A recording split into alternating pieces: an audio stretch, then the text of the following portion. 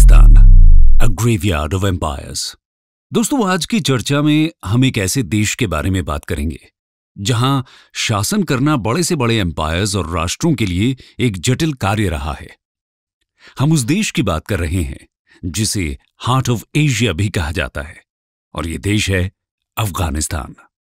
इतिहास में कई बड़े एम्पायर्स और महान शक्तियों ने अफ़गानिस्तान की भूमि पर शासन करने का प्रयास किया। लेकिन एक स्थिर और स्थायी शासन बनाए रखने में विफल रहे। हालाँकि कभी कभी इन्वेडर्स को कुछ शुरुआती लड़ाइयों में थोड़ी सफलता भी मिली, लेकिन आखिर में हर बार उन्हें अफ़गानिस्तान को छोड़कर भागना ही पड़ा। नाइनटीन और ट्वेंटी सेंचुरी के दौरान फॉरेन इन्वेजन्स का विरोध करने में अपनी सफलता के लिए अफ़गानिस्तान प्रसिद्ध रहा है। इतिहास के जानकारों के द्वारा इस क्षेत्र को साम्राज्यों का कब्रिस्तान, यानी कि ग्रेवयार्ड्स ऑफ़ एम्पायर्स की उपाधि दी गई है। आखिर क्यों ब्रिटेन, सोवियत यूनियन से लेकर अमेरिका समेत दुनिया की तमाम बड़ी शक्तियाँ इसे जीतने की कोशिश में नाकाम रहे? इस सवाल का जवाब अफ़गानिस्तान के इतिहास और भूगोल में मिलता है। इस साउथ एशियन कंट्री की सीमाएँ युद्ध, कूटनीति और विदेशी घुसपैठ की एक कहानी कहती है। आइए इस देश की कहानी का विस्तार से विश्लेषण करें, जिसने इसे ग्रेवयार्ड्स ऑफ़ एम्पायर्स का उपनाम दिया। History of invasion in Afghanistan before nineteen century. दोस्तों, अफ़गानिस्तान के कुछ हिस्से पहले प्राचीन भारत के गांधार का हिस्सा थे, जो कि अब वेस्ट पाकिस्तान और ईस्ट अफ़गानिस्तान का एक क्षेत्र है। संभवतः सदर्न और ईस्टर्न अफ़गानिस्तान का अधिकांश भाग पहले से ही आज के पश्तून द्वारा बसाया हुआ था। उनकी पश्तो भाषा एक प्राचीन पूर्वी ईरानी भाषा है, जो कि जोरोएस्ट्रिन स्क्रिप्चर्स की ओरिजिनल भाषा अवेस्तन से संबंधित है। हमें पहली बार 500 हंड्रेड बीसीई के आसपास अफ़गानिस्तान के इतिहास की एक स्पष्ट झलक मिलती है। इतिहास के दस्तावेजों के अनुसार तब ये क्षेत्र मिनट पर्शियन एम्पायर का ईस्टर्न पार्ट हुआ करता था। एक्मीनिड एम्पायर के फाउंडर साइरस द ग्रेट ने इंडस वैली के वेस्टर्न रीजन्स पर कब्जा कर यहाँ अपना साम्राज्य बनाया था। ये क्षेत्र कई प्रोविंसेस में विभाजित था, जिसमें आज का काबुल, जलालाबाद और पेशावर शामिल थे। साइरस की मृत्यु के बाद इस एम्पायर के तीसरे किंग डेरियस वन ने यहाँ अपने राजवंश की स्थापना की और साम्राज्य को और विस्तार दिया। धीरे धीरे इस साम्राज्य की पकड़ कम होने लगी। और लगभग 330 बीसी के आसपास अलेक्जेंडर द ग्रेट ने आज के अफ़गानिस्तान पर आक्रमण किया। उन्होंने बैटल ऑफ़ गाउगमेला में Achaemenid king Darius the third को हराकर इस क्षेत्र को हासिल कर लिया था। और इसके साथ ही अफगान भूमि पर पर्शियंस के राज की समाप्ति और ग्रीक्स इन्वेजन का आरंभ हुआ। अफगान की भूमि ने अलेक्जेंडर को काफ़ी चुनौतीपूर्ण लड़ाई प्रदान की। उनकी आर्मी को वहाँ के एक प्रोविंस बैक्ट्रिया के ट्राइबल एरिया में बहुत भारी रेजिस्टेंस का सामना करना पड़ा था। कहा जाता है कि तब अलेक्जेंडर ने कहा था कि अफ़गानिस्तान में आगे बढ़ना आसान है, लेकिन बाहर निकलना मुश्किल। अलेक्जेंडर सभी प्रोविंसेस को पॉलिटिकली जोड़कर रख पाने में विफल रहा और 323 बीसी में उसकी मृत्यु के बाद उसका साम्राज्य टूट गया। अलेक्जेंडर के सेनापति सेल्यूकस ने ईस्टर्न पार्ट को अपने कंट्रोल में ले लिया और यहाँ सेल्यूसिड डायनेस्टी की स्थापना की। इसके अलावा विभिन्न जनजातियों द्वारा इस क्षेत्र को मिनी स्टेट्स में विभाजित कर दिया गया और उन्होंने वहाँ अलग अलग साम्राज्यों की स्थापना की। इनमें Greco Bactrian Indo Parthians Sakas यानी कि सीथियंस, कुशांस व्हाइट हांस इत्यादि शामिल थे। इस समय तक अफ़गानिस्तान ने शासन करने के लिए एक कठिन क्षेत्र की प्रतिष्ठा तो हासिल कर ली थी। जब एट सेंचुरी में अरब्स इस क्षेत्र में पहुँचे, तब ये छोटी छोटी ही सही, लेकिन मज़बूत रियासतों में बढ़ चुका था। कांदहार के जुनबिल्स को जीतने के प्रयास में अरब्स पूरी तरह से विफल रहे, और ये उनके कॉन्क्वेस्ट के बाद का पहला बड़ा झटका था। इलेवेंथ सेंचुरी में गजनी के महमूद को अफ़गानिस्तान के विजेताओं में सबसे महान माना जाता है, जिसने ईरान से भारत तक गजनवीद साम्राज्य बनाया था। एक मिलिट्री कमांडर के रूप में महमूद की क्षमताओं के बावजूद वो अपने साम्राज्य को मज़बूत करने में विफल रहा। गौरियों ने 1150 में गजनी पर कब्जा कर लिया और मोइज अल्दीन, जिसे गौरी के मोहम्मद के रूप में जाना जाता था उसने इलेवन एटीज के आसपास अंतिम गजनवीद गढ़ पर कब्जा कर लिया। थर्टींथ सेंचुरी तक आते आते इस क्षेत्र पर जेंगिस खान ने कब्जा कर लिया।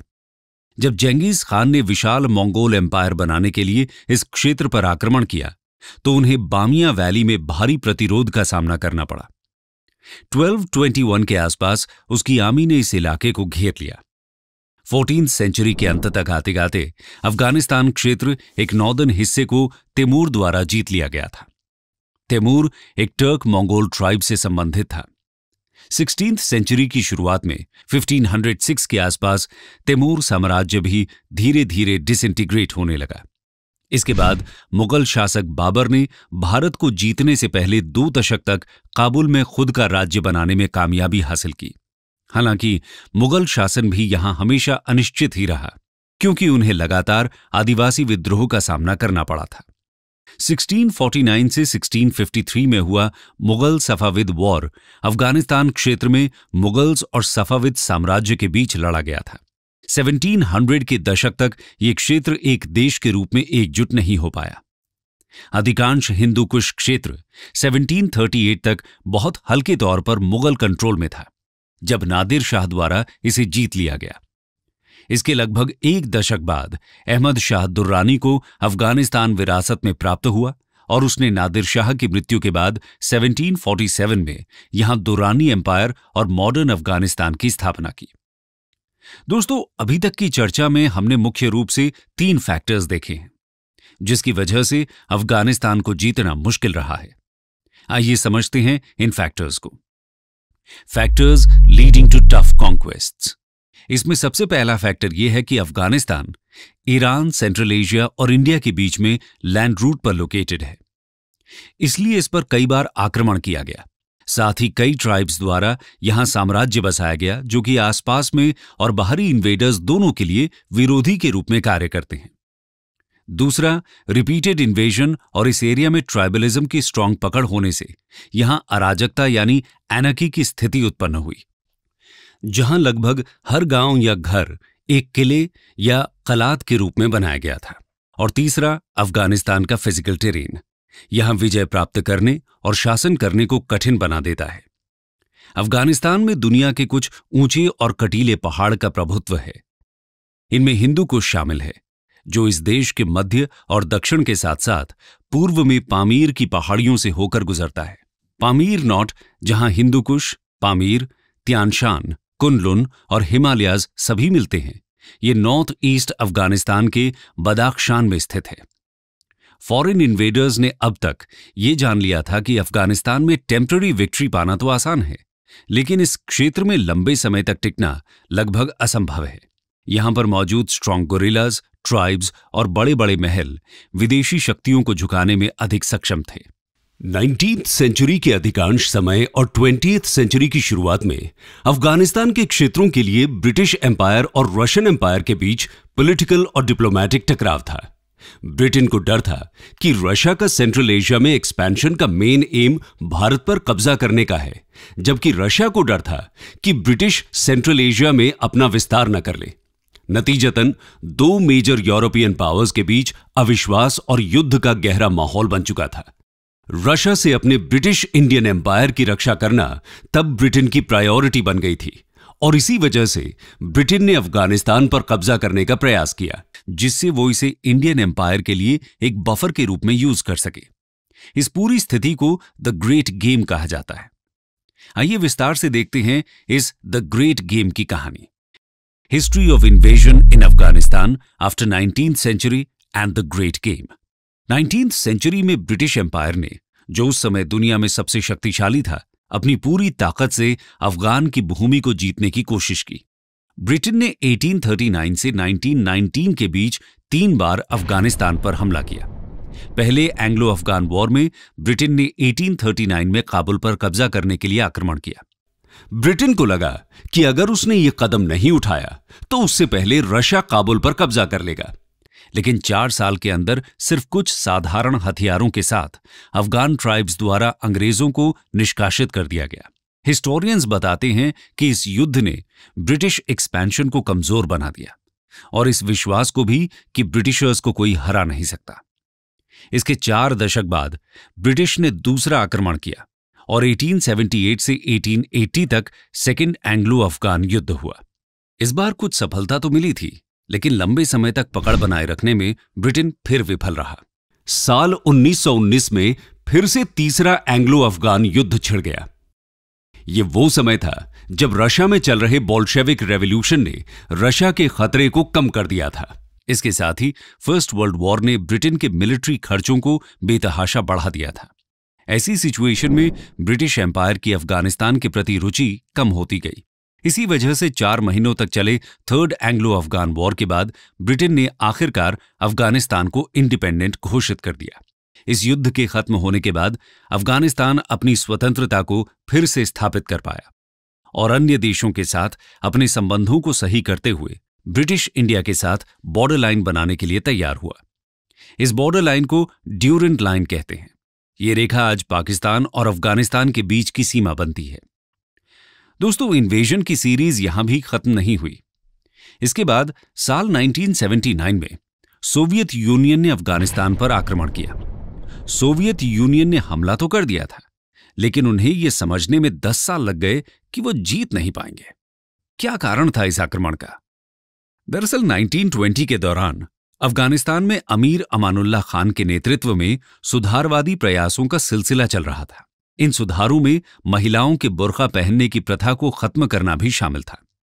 इन प्रयासों ने कुछ ट्राइबल पॉपुलेशन और कंजर्वेटिव इस्लामिक लीडर्स को नाराज़ कर दिया। और इसी वजह से वहाँ गृह युद्ध यानी कि सिविल वॉर की शुरुआत हो गई। अफ़गानिस्तान ने सोवियत यूनियन मिलिट्री से सपोर्ट की गुहार लगाई। और उसके बाद सोवियत यूनियन ने 1979 में अफ़गानिस्तान पर हमला कर दिया, ताकि कम्युनिस्ट सरकार को सत्ता में बनाए रखा जा सके। इस संघर्ष की वजह से अफ़गानिस्तान में लंबे समय तक हालात गंभीर रहे। कई मुजाहिदीन ऑर्गेनाइजेशंस और छोटे माओइस्ट ग्रुप्स ने सोवियत यूनियन का विरोध करते हुए उनके खिलाफ युद्ध छेड़ दिया।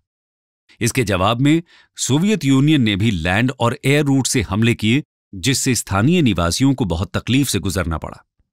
मुजाहिदीन को मुख्य रूप से United States of America, Pakistan, Iran, Saudi Arabia जैसे देशों से समर्थन मिल रहा था।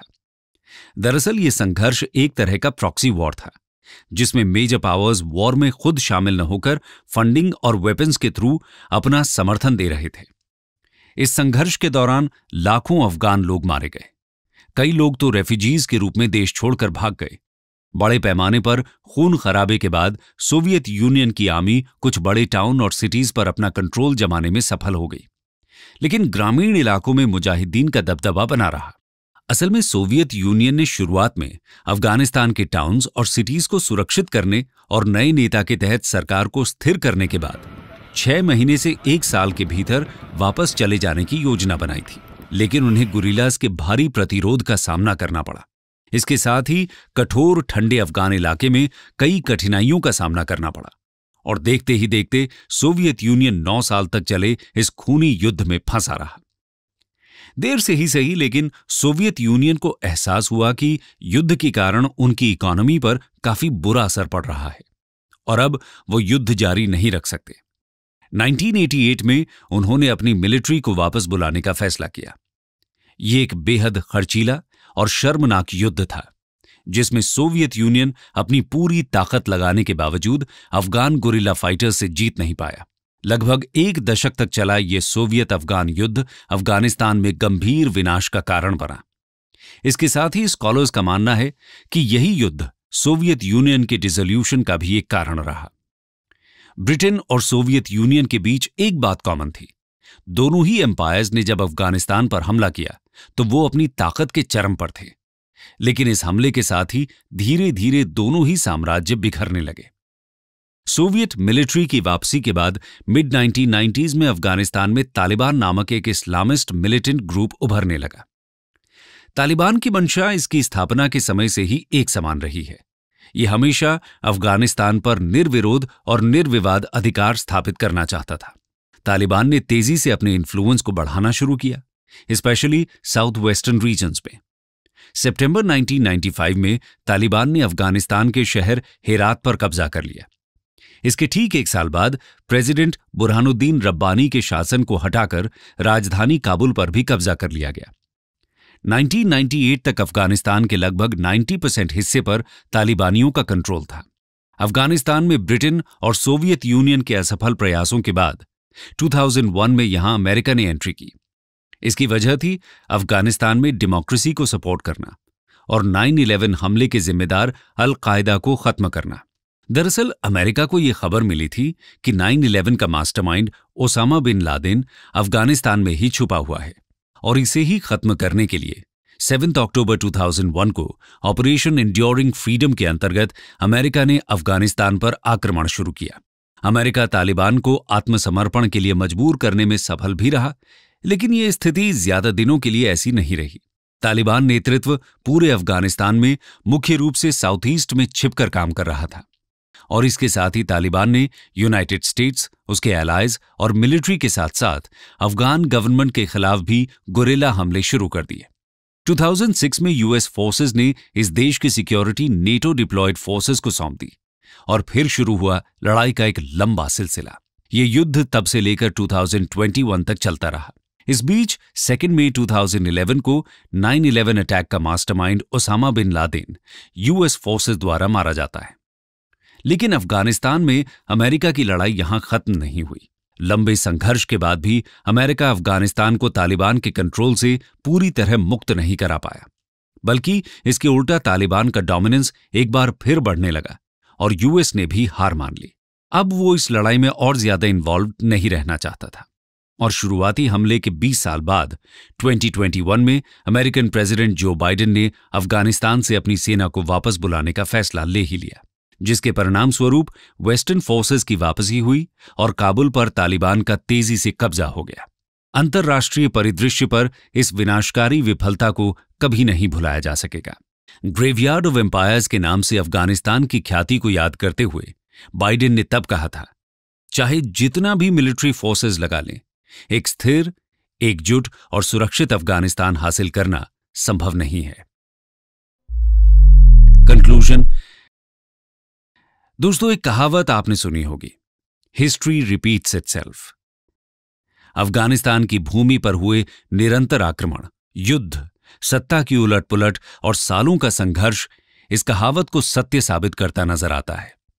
आने वाले समय में यदि तालिबान से निपटना असंभव हो जाता है तो ये देखने वाली बात होगी कि क्या कोई और स्टेट पावर विश्व भर में साम्राज्यों का कब्रिस्तान कहे जाने वाले अफ़गानिस्तान पर आक्रमण करने का जोखिम उठाएगा या नहीं?